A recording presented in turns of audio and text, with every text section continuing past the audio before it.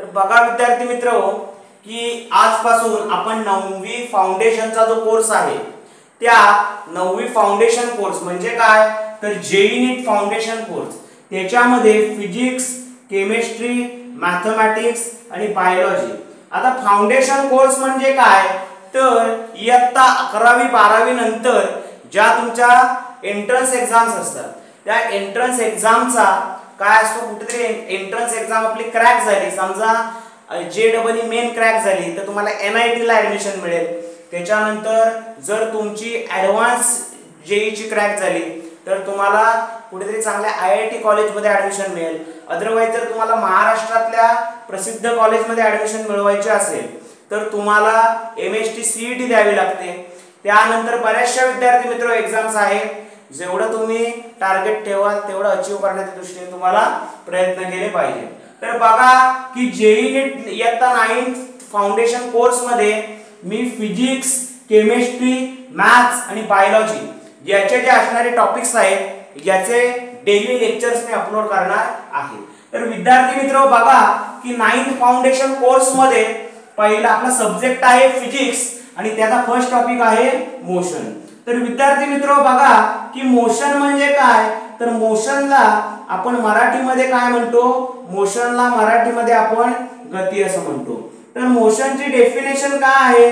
Change in a position change in a position of a particle change in a position of a particle is called as आपण त्याला काय म्हणणार? Motion असं म्हणणार. बघा विद्यार्थी मित्र की change in a position of a particle is called as motion विद्यार्थी मित्र गती म्हणजे काय?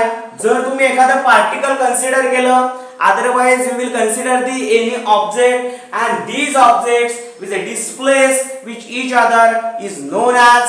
आपण त्याला काय म्हणणार आहोत?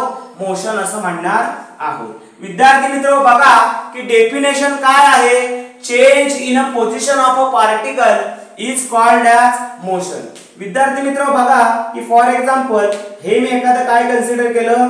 की हे मी एखादं पार्टिकल कन्सिडर केलं. आणि या पार्टिकलने काय केलं?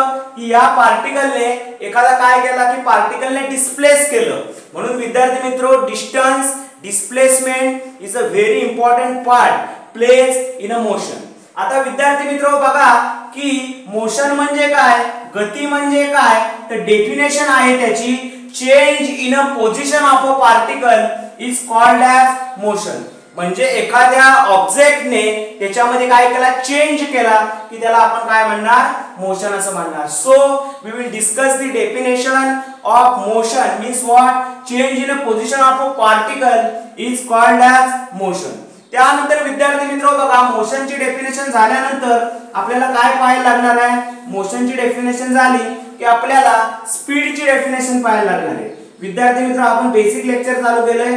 Speed is equal to distance upon time speed is equal to distance upon time and velocity is equal to बघा speed is equal to distance upon time and velocity is equal to displacement upon time speed is equal to distance upon time speed is equal to distance upon time and velocity is equal to displacement upon time.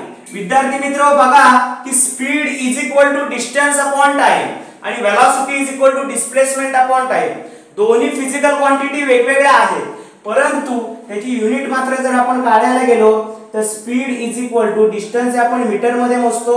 Otherwise ते सेंटीमीटरमध्ये सुद्धा मोजतो. आणि time हा all सिस्टीममध्ये second मध्येच असतो. त्यानंतर velocity velocity is equal to displacement आपण मीटरमध्ये मोजतो. अदरवाइज हेच आपण कशामध्ये? सेंटीमीटरमध्ये मोजतो आणि टाइम आपण सेकंड मध्येच घेतो.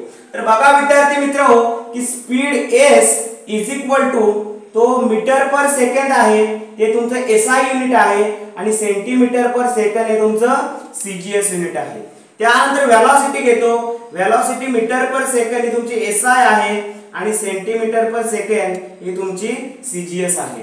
तर विद्यार्थी मित्र बघा की speed is equal to distance upon time speed आपण मीटरमध्ये घेतो तो एस आयमध्ये असतो आणि सेंटीमीटर हा सीजीएसमध्ये असतो. मग बघा की speed is equal to meter per second हे जे युनिट आहे हे आपण असं पण लिहू शकतो मीटर पर सेकंड हे तुमचं एस आय युनिट आहे आणि सेंटीमीटर पर सेकंड हे तुमचं सीजीएस युनिट आहे.